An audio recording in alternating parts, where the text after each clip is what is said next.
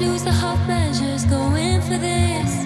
A conversation uncensored, no answers missed. Afraid to wait.